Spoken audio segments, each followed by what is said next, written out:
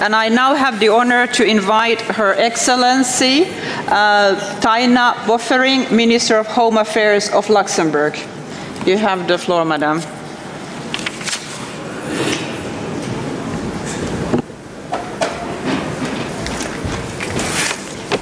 Thank you, Madam Chair, Excellencies, dear delegates, good afternoon, everybody. I'm very pleased to be here.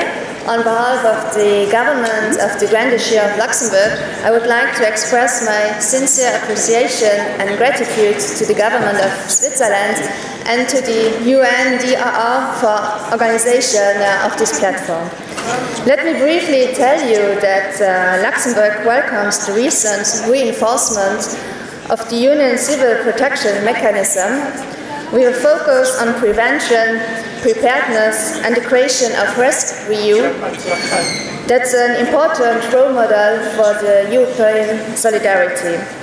The new Luxembourgish government has reinforced its commitment to the Sendai framework by nominating a new national Sendai focal point who received a clear mandate to push forward our common agenda on disaster risk reduction. We intend to focus on improving interministerial collaboration and the resilience of the population on national and on local level. Luxembourg is confronted by a dynamic risk landscape. In response, my government, in collaboration with private partnerships and research institutions, we are currently developing an early warning system. This will be integrated in the already existing mobile application GouvAlert with an effective tool that allows us to directly communicate with the affected population.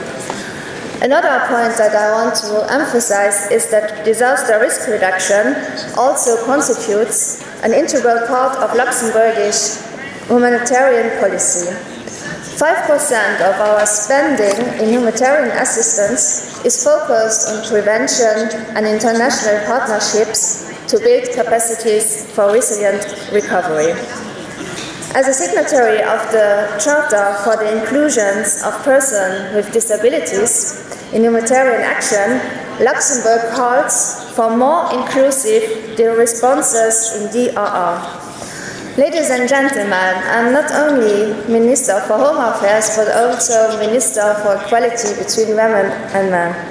As such, I especially welcome the efforts of gender mainstreaming throughout the 2019 discussions in the global platform. Gender issues are indeed an important, an important part of disaster risk reduction. Women, men, girls and boys are all affected differently.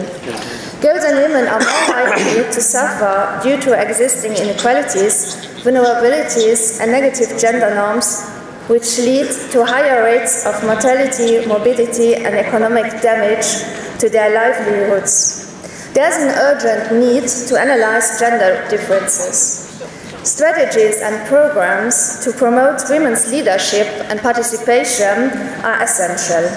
Ignoring the necessities for action is unacceptable. Ignoring, the, ignoring all those actions and empowerment for women is unacceptable. Only by giving women a voice in the process, inequalities can be reduced. So, ladies and gentlemen, it's time for gender responsive action in disaster risk reduction. The time is now. Thank you.